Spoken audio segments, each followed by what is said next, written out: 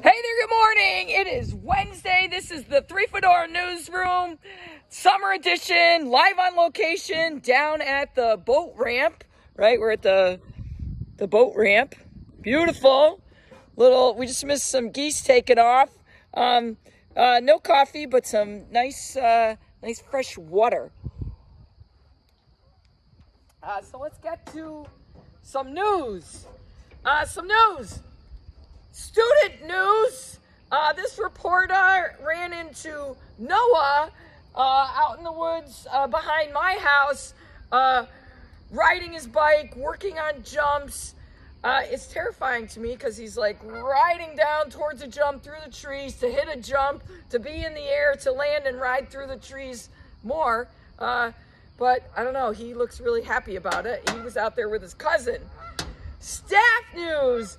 Devin has joined the uh, the team at Richmond School. Devin is a former student. He's a graduate of Richmond School. And you know what? Mrs. Campbell said to me when I started at Richmond School, I believe it's reflective of a Led Zeppelin song. You check in, but you never check out. Hotel California.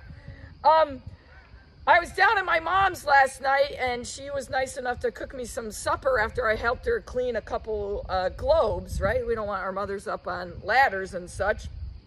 And then for dessert, we had a lemon, uh, a lemon pound cake, and that she had made in a loaf plate pan. And she said, "Wow, I thought it was really hard to get it out of the loaf pan.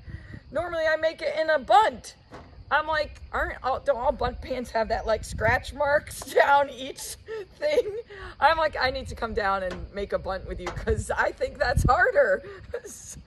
uh, and that I believe is all the news we have for today, except that people, we're on day five at Richmond School. So exciting. Uh, today's weather, cloud cover, got us low setting clouds here and maybe in the upper 60s. Get outside, do something fun. We're out from the Three Fedora Newsroom Summer Edition. I'm up. Bye bye.